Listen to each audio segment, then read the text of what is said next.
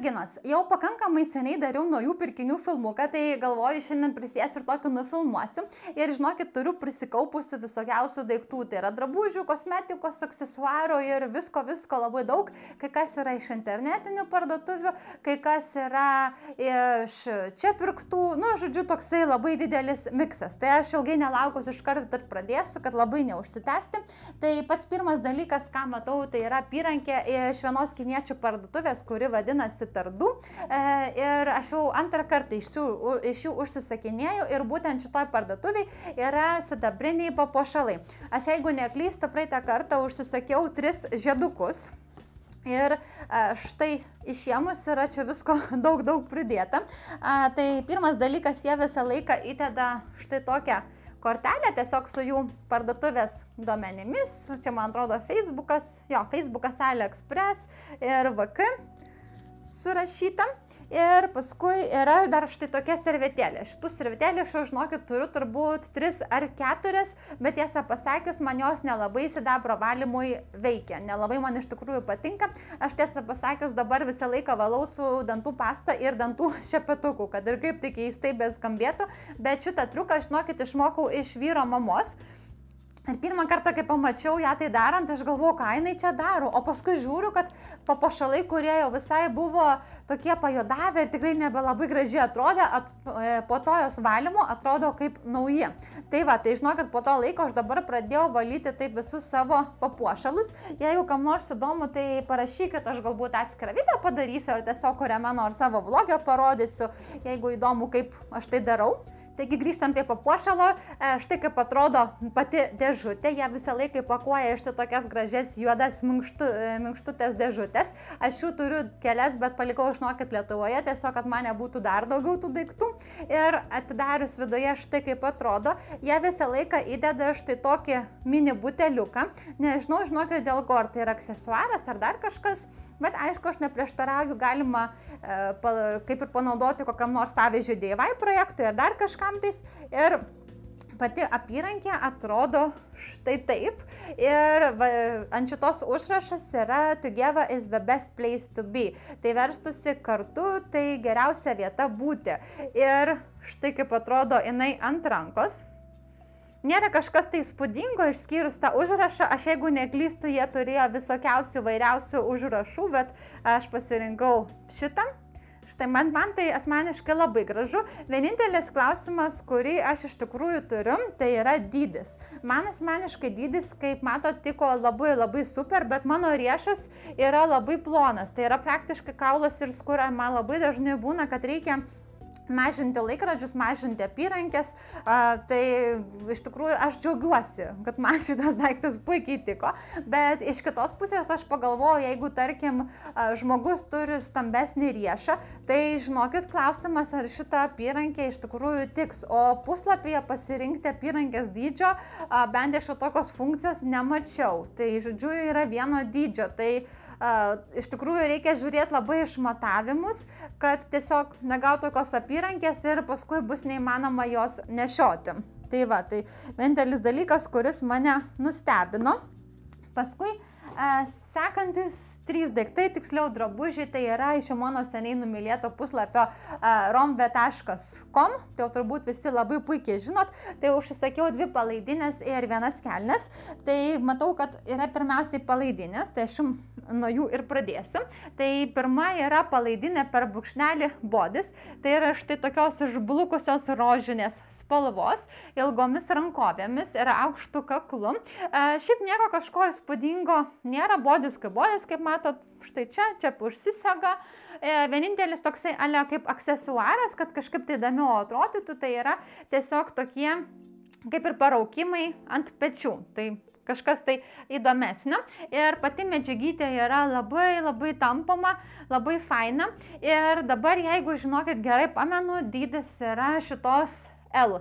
Aš, aš sakiausi tokią didesnę, vien dėl to, kad man labai dažnai būna su bodžiais iš kiniečių parduotuvės, kad man jie yra per trumpi, kadangi aš esu pakankamai aukšta ir ypatingai lyginant su azijiečiais, aš esu labai aukšta.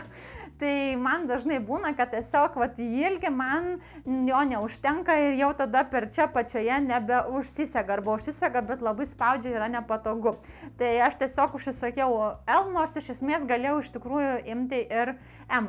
Bet kitas dalykas, e, ką aš esu pasimokius su Rombe, kad su dydžiais reikia labai atsargiai, reikia žiūrėti išmatavimus tiksliai, tiksliai, nes e, kartais būna, kad vieną rūbą aš užsisakinėju S, o kitą užsisakinėju XL. Tai va to ir pamatysit mano pavyzdžius, nes e, sekantis drabužis tai yra palaidinė kaip ir brūkšnelis Štai čia, aš labai panašu iš tikrųjų šiuo esu jau užsisakiusi. Tai nėra kažkas tai įspūdingo, tai yra tiesiog toksai pilkas mėgstukas, yra štai tokie kaip ir prakirpimai ant pečių. A, ta palaidinė, kurią aš turiu praktiškai tokia pačia, tai jinai yra tokios pačios medžiagytės, tik tai, kad tokie vat, prakirpimai yra štai čia priekyje. Galbūt a, atsimenat iš, e, iš mano vieno filmuko iš naujų pirkinių. Dabar neatsimenu kiek laiko atgal, bet žinau, kad tikrai dar buvo Lietuvoje.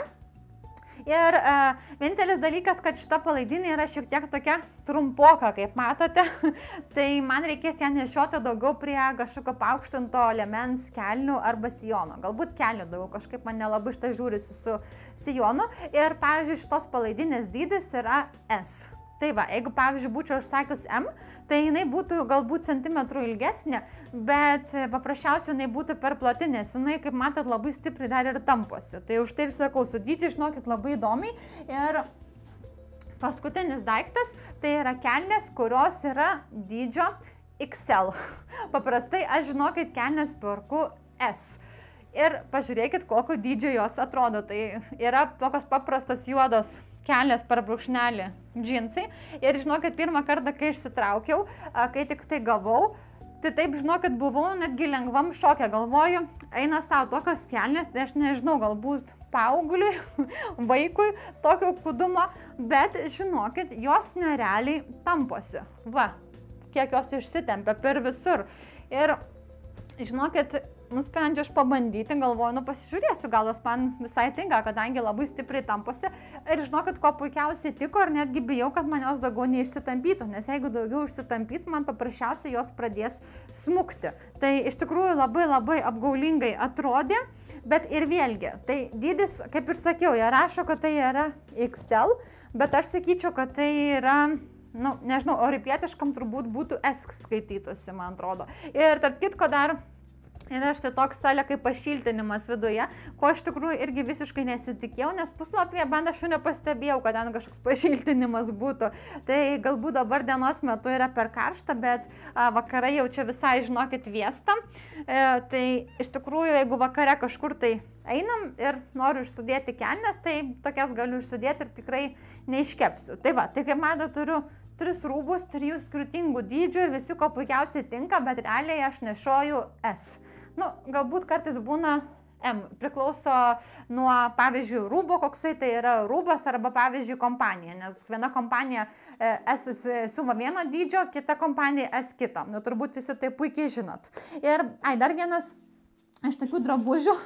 tai žinokit, ten nežinau, kompanijos yra, ai, yra čia kažkoks jų ženkliukas. Tai yra ne visai drabužis, bet tai yra um, prijuostę. Iš tikrųjų, atradomės tokią parduotuvytę, vaikščiam tiesiog su vyro aplink gatvelėse netoli miesto centro ir atradom tokią įdomią parduotuvę, tai yra um, kaip sakyti, atrodo, kaip būtų rankų darbo visokie žaisliukai, daiktai, nu, žodžiu, labai labai mėla parduotuvytė. Ir kas mane patraukė į vidų, tai šitas daiktas. Aš kaip katinų mylėtoja, taigi negalėjau praeiti nenusipirkus. Realiai man prie juostis nereikia, nes aš labai nenaudoju iš tikrųjų, aš netgi nemėgstu jų naudoti, kai aš darau valgyti.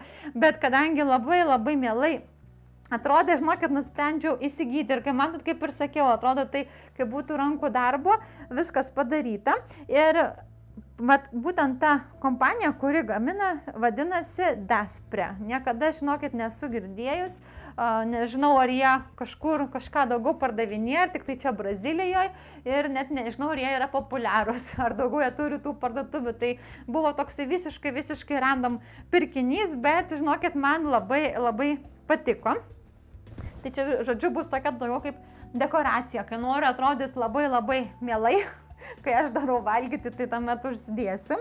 Um, gerai, dar dabar čia turiu visokiausių kosmetikų ir panašiai, bet dar noriu parodyti vieną daiktą iš rūbų.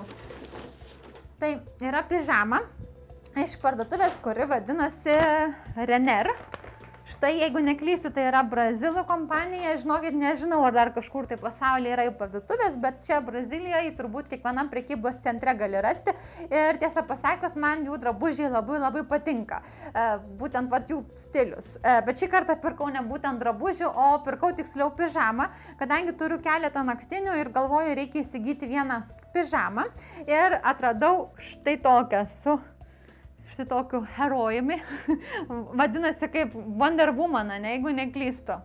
Aš žinokit, nelabai gerai žinau tos pavadinimus, tai jeigu nusišneku, tai ant manęs nepykit. Tai yra tiesiog tokios e, kaip ir tam simėlinos spalvos, labai graži aplikacija, tik tai galvoju, reikės ko gero skalbti e, rankomis arba tiesiog skalbti ant delicate skalbimo mašino ir išversti kitą pusę, kadangi čia yra iš aplika, viena iš to aplikacijų, kuri e, po kelių skalbimų mėgsta suskeldyti ir šiek tiek nublukti. Tai žodžiu, reikia atsargiai. Tai štai atrodo taip viršus ir tie kartu su štai tokiais šartukais. Šartukai nieko, kaip matote, ypatingo. Tiesiog va tokie. Tai, žodžiu, tokia paprasta smagi pižama. Uh, tom naktim, kada šiek tiek yra šalčiau, nes pavyzdžiui su naktiniais, aš pas mane dauguma naktinių, naktinių yra tokia kaip ir ančeliai gučių, tai kartais būna, žinokit, vėsų. Nežinau, čia, žinokit, temperatūra jaučiasi kitaip. Čia jeigu naktį plus 18, tai atrodo, kad namie labai šalta. Nežinau, ar man čia taip atrodo, ar, ar tikrai tas klimatas čia kažkaip kitaip jaučiasi, neįsivaizduoju. Na ką, tai dabar obeliko, man atrodo, tik tais kosmetika ir grožio priemonės, tai galbūt aš prie jų ir pereisiu. Aha, tai pirmiausia, galbūt parodysiu aš jums uh, vieną kremą iš internetinės parduotuvės ir kompanija vadinasi Vena Natural Line. Štai tai yra kremas, kuris mažina veido raudonį. Kodėlgi aš tokį dalyką turiu? Dėl to, kad aš šitą kremą, žinokit, užsakiau ne savo, užsakiau mamai, Nes jai visą laiką būna problematiška aplink nosį ir šiek tiek kur žandai, jai visą laiką raudonuoja, kad ir ką bedarytų. Tai tiesiog pagalvojau, kad galbūt toksai kremas padės. Tai žinau, kad aš ne, kaip ir neišbandžiau ant savo veido, tai ir turbūt neišbandysiu, bet kada jinai šiek tiek panaudos, tai būtinai jums galėsiu papasakoti, ar jisai kažką padėjo, ar, ar nelabai, ar tiesiog tai yra eilinis kremas. Ir Štai jisai atsidaro labai įdomiai, kaip matote, yra taip ir išsisuka. Štai. Ir tada tiesiog pasispaudė. Aš pabandžiau šiek tiek ant rankos, tai atrodo labai tokios lengvos gelinės konsistencijos, netgi galbūt šiek tiek primena uh, serumą. Labai toks įdomus. Tai bent jau ant rankos tai susigėrė labai labai greitai ir tokia atrodė švelni ranka. Tai aš manau, kad turėtų būti veido odai labai gerai. E, tai žiūrėsim. Ir paskui dar jie įdėjo tokį ale kaip mėginuką iš tos pačios linijos serumo. Taip, teis, teisingai, nenusišneku. Iš tos pačios linijos tai tiesiog va, Ir aš tai toks atsidaro ir pasispaudė ir, žodžiu, serumas. Serumą taip pat pabandžiau ant rankos, O serumas man, žinokit, nelabai patiko, nežinau, gal mamai labiau patiks, nes jis toksai uh, gelton, gels, gelsvos spalvos ir tokios, na, nu, aš jums pat galiu parodyti, tokios labai keistos, kaip vandens konsistencijos, vat ištepi ir praktiškai viskas iš karto susigėrė, nelabai jaučiasi, kad kažką darytų. Uh, Tai nežinau, žinokit, galbūt tiesiog taip turėtų būti, galbūt jisai kažkaip gerai su tuo kremu reaguoja, tai žiūrėsim, žodžiu, duosiu mamai išbandyti, galbūt jai patiks. Bet man kažkaip, kaip serumas, atrodo, jisai uh, kitaip turėtų jaustis. Ir taip pat įdėjo man jie štai tokį kaip alemėginuką, tai yra uh, mineralinė pudra. Ir šita vadinasi Vena Mineral Line ir spalva MF1. Tai yra, jeigu neklystu, jų šviesiausia. Tai va išbandysiu. E, toks dalykas labai iš tikrųjų gerai, kada kur nors keliauji arba pavyzdžiui savaitgaliu kažkur važiuoji ir nenori savo visų kosmetikos priemonių kartu vežtis, tai labai gerai turėti tokį mažytį daiktą. Paskui turiu, taip, toliau du daiktus iš Merkiai. Labai seniai iš tikrųjų kažką esu išupirkus, bet kadangi mano draugė platina ir man parodė keletą daiktų, tai nusprendžiau užsisakyti. Tai pirmas dalykas yra šešėliai. Ir jų, kosmi, jų grožio produktų priemonių visokiausių esu bandžius tikrai, e, gan nemažai, bet e, iš kosmetikos priemonių, žinokit, visiškai nieko nesu bandžius, tai dabar bus labai įdomu išbandyti. Tai štai kaip atrodo pakuotė tokia permatoma ir man labai labai patiko spalvos. Štai kaip matote yra juoda, pilka ir balta ir visos yra su tokiu blizgučiu. Tai yra tokios spalvos turbūt daugiau kaip ir vakariniam naktiniam makijažui. Nežinau, žinokit, ant akių dar neišbandžiau, bet bent jau perbraukusi pirštu atrodo, kad pigmentacija labai labai gera. Tai nekantrauju išbandyti ir tą pačią progą užsakiau šepetuką šešėlių. Ne tai, kad man reikia iš tikrųjų, bet žinokit, su šepetukais makijažo, tas pats kaip ir su kosmetikos priemonėm, žinokit, negaliu nustot pirkti. Atrodo, nu, dar reikia vieno šepetuko, nu gal dar vieno lūpdažio, nu gal dar vieno to. Nu, žodžiu, žinokit, čia yra kaip lyga. Bet pasižiūrėsim, kaip bent jau kol kas tai jaučiasi tikrai labai maloniai, labai toksai švelnutis. Ir Ar jie turi kažkokį numerį ant tų šepetukų, žinokit, neturi, tiesiog rašo Amerikiai, iColor ir tiek, tai tiesiog turbūt skaitosi kaip ir šešėlių šepetukas ir tiek. Tai pasižiūrėsim, kaip jisai man čia naudosis ir kaip bus po plovimo. Tai aš labai turiu iš tikrųjų didelių vilčių, kad bus geras daiktas. E, paskui trys daiktai dar yra iš Eivono. Tai pirmas yra a, veido tonikas, mano veido tonikas dabar jau visiškai pasibaigė, galbūt turiu vien, vieną kartą, a, vienam kartui panaudoti. Tai nusprendžiau išbandyti šį kartą iš Eivono, tai šitas yra Eivon Solutions Clean. A, tai žinokit, nežinau, iš tos linijos dar nieko nepandžiau, tai negaliu nieko pasakyti, bet aš tikiuosi, kad bus geras. A, paskui sekantis daiktas tai yra kojoms gelis štai toks. Man atrodo, kad šita linija Lietuvoje irgi yra. Nežinau, yra visi produktai, bet man atrodo, kad tikrai yra. Um, Aišku, aš paskui, kai išbandysiu, jums galėsiu papasakoti, bet a, bent jau tiek pabandžiau ant rankos, tai man labai labai panašus atrodo šitas a, gelis kojams, kaip turi body shopas. Dabar aš neatsimenu, koks yra pavadinimas, bet žodžiu, yra visa linija kojams. Tai yra tokie permatomi buteliukai, bet jeigu neklystu, šviesiai rožinės spalvos etiketė ir gelis štai toks yra lygiai tokios pačios e, mėlynos spalvos. Tai yra atpalaiduojantis, relaksuojantis, žodžiu, gelis. Labai gerai yra toks, kada pavyzdžiui po ilgos dienos jaučiasi kojos, pėdas pavargė, tai labai iš tikrųjų smagu įsitrinti ir kad kojos šiek tiek nusiramintų, atsipalaiduotų. Tai aš kaip pamačiau įmonę, galvoju, reikia išbandyti, galbūt irgi bus geras poveikis, bet kaip sakiau, dar tik tai išbandžiau ant rankos. Ir paskutinis daiktas iš Šeimono, tai užsakiau juodą akių markerį.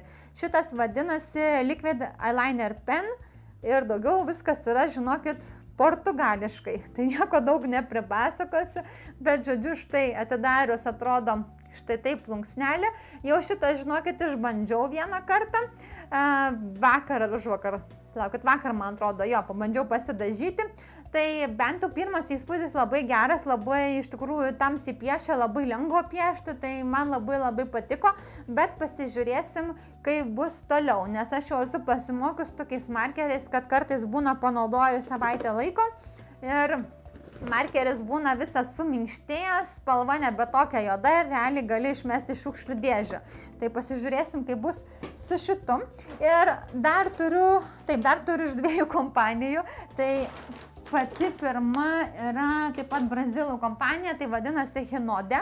Ir tai yra viena iš tų kataloginių kompanijų. E, ir dėl ko užsisakiau šito, būtent iš jų, dėl to, kad mūsų e, kitas draugas platina. Tai žodžiu, čia visi viską platina, tai aš iš visų ir užsisakau kažką tai naujo išbandyti, kadangi labai įdomu, ypatingai tokios braziliškos kompanijos ir bandau atrasti produktus, e, kuriuos aš čia mėgsiu, mėgsiu pamėgsiu. Ir Pats pirmas dalykas tai yra akių makijažo valiklis. Uh, nepaskaitysiu, žinokit, kaip čia parašyta, tai aš bijau nusišnekėti, bet žodžiu, tai yra tas toks dvi fazis, a, kurį prieš naudojimą suplakė ir nuvalo a, vandeniu atsparų tušą, a, šešėlius, pudrą, pudra. Viską žodžiu nuo akių. Aišku, galima iš bėdos tokį naudoti ir veidai, bet aš nemėgstu tokių naudoti veidai, aš dažniausiai naudoju micelinį vandenį. Tai va, tai labai išnokit nekantrauju išbandyti, kadangi čia su makiažo valikliais iš tikrųjų yra problema. Labai mažai pasirinkimo. Tarkim, kai Lietuvoje nueini ir viena kompanija, ir kita, ir penkta, ir dešimta, ir nebežinau galiausiai kurį pirkti. Čia nueini į parduotuvę, turi turbūt, nežinau, dvi kompanijas. Vienas L'Oreal, kitas Nivėjas. Ir kaina yra labai labai didelė, kadangi tai yra importuoti. Pavyzdžiui, Lietuvoje toksai kaip Nivėjas, nežinau, buteliukas tas mažas, žinau, kaip būna toksai mėlynas. Kiek jis kainuoja maksimum, gal 2-3 eurų, aš dabar neatsimenu. Čia tas pats buteliukas kainuoja 10 eurų žinokit, neokauju. Tai žodžiu, tai aš dabar bandau rasti kažkokią alternatyvą, nes aš esu minėjus ne kartą, kad manau į m, tokius dalykus kaip makiažo valiklis a, tikrai nėra verta investuoti labai labai didelių pinigų, nes aš manau, kad galima atrasti už mažesnę kainą labai puikų produktą. Tai va, tai žodžiu, dabar išbandysiu šitą, tai galbūt bus geras daiktas, bent jau labai tikiuosi. Ir kitas daiktas tai yra mano plaukam. Tai yra a, plaukų kaukė, kuri turėtų būti labai atstatanti. Štai kaip jinai atrodo pati pakuotė, tai yra 250 gramų ir linija vadinasi uh, H Expert. Jeigu aš teisingai skaitau, bet kadangi brazilai nelabai taria H, tai aš nežinau, žinokit, kaip iš tikrųjų turėtų būti perskaityta. Ir štai kaip kaukė atrodo viduje. Mm, kvepia labai skaniai toks švelnus kvapas, bet nėra stiprus ir kaukė atrodo labai tokios kreminės konsistencijos. Tai man atrodo, kad jos labai nedaug reikės ir turėtų ilgam laikui užtekti. Tai pasižiūrėsim, aš dar iš jų nesu nieko plaukam bandžius, tai iš tikrųjų taip pat turiu labai labai didelių vilčių. Ir pati paskutinė parduotuvė Tai yra iš body shopo. Na, dieną apsilankiau body shop'e, ieškojau vieno daikto, bet nusipirkau du. Tai pirmiausia parodysiu, kurio ieškojau. Tai ieškojau štai šito purškiklio iš vitamin C linijos. Tarp kitko, man šitą vitamin C liniją labai labai patinka. Aš esu naudojus jau ne kartą ir ne du, mano mėgstamiausi yra veido prosiklis ir veido šveitiklis. Norėjau iš tikrųjų nusipirkti būtent iš tos linijos veido šveitiklį, bet neturėjau dėja, tai tik tai nusipirkau šitą purškiklį. Tai yra vienas iš tų vadinamų hidrolatų, jeigu aš teisingai sakau, tiesiog atsigaivinti veidai. Aš jau kurį laiką, žinokit, ieškur niekur nerandu ir, pam, ir pamačiau internete, kad body shopas būtent šitą dalyką turi. Tai žinokit, kai buvau prekybos centre, taip tiesiai ir nuėjau į body shopą būtent šitą daiktą ieškoti. Tai iš tikrųjų labai labai fainas, jau jau kelis kartus purškiausi, tai man kol kas labai labai patinka. Ir pasižiūrėsim, kiek man ilgai užteks, kadangi tai nėra didelis dydis, tai tai yra 100 ml. Ir paskutinis daiktas tai yra veido šveitiklis. Kaip sakiau, norėjau nusipirkti iš tos pačios linijos vitamin Z, bet kadangi neturėjo, tai teko rinktis kažką tai kito. Tai žinau, kad pasirinkau šį kartą iš linijos, kuri vadinasi Seaweed ir šitas šveitiklis turėtų išvalyti veido nešvarumus, užsikimšusias, užsikimšusias poras ir taip toliau. Tai pasižiūrėsim, dar šito neišbandžiau, žinau, kad buvo maišelį padėtas, tai negaliu nieko pasakyti. Šitos linijos Seaweed dar nesu bandžius, bet bent jau kiek minėjo moteris parduotuvėje, konsultantė, kad mano veido odai turėtų labai tikti, kadangi šitas švitiklis būtent yra normaliai, mišriai link rebesnės pusės. Taip, tai aš tikiuosi, kad man jisai kažką tai padarys gero. Turbūt e, bent jau dalis šitų produktų atsiras kažkurio metu mano tuštučiuose, mano mėgstamiausiuose ir taip toliau. Nu, tuštučiuose galbūt nelabai. Um, Vat iš tikrųjų aš jums klausimą turiu, bet dėl tuštučių jau dabar esu gan nemažai sukaupus, padarysiu neužilgo filmuką. E, bet aš kaupiu tokius produktus, kurie dar buvo atsivežti iš Lietuvos, bet pavyzdžiui, aš labai labai daug turiu, kurie yra būtent čia Lietuvoje pirkti ir pasibaigę, bet aš jo žinokit dažniausiai išmetu ir nerodau. Tai aš nežinau, ar man tokius braziliškus produktus įdėti tą tuštučių video ar ne, nes aš žinokit, nežinau, ar tuos produktus galima kažkur uh, iš, ne Brazilijoje būtent nusipirkti. Tai aš kažkaip nežinau, ne, nelabai aš jų iš tikrųjų ir saugojau. Tai jeigu jums vis tiek įdomu išgirsti mano nuomonę apie tą produktą, kurį aš būtent čia pirkau iš braziliškos kompanijos, tai parašykite, tiesiog galėsiu taip pat įdėti. O jeigu ne, tai tiesiog ir toliau aš rinksiu tokius produktus, kuriuos žinau tikrai, kad galite Lietuvoje, Europoje kažkur tai įsigyti. Tai va, tai viskas, mano visi pirkiniai eina savo, žinokit, man atrodo, užsikalbėjau šiandien pusvalandį, bet tikiuosi, kad jums nenusibodo, kad patiko bei buvo įdomu žiūrėti. O šiandien ką, tuomet tiek, labai labai jums ačiū, kad žiūrėjot ir tuomet pasimatysim mano kitam filmuke arba vlogė. Iki.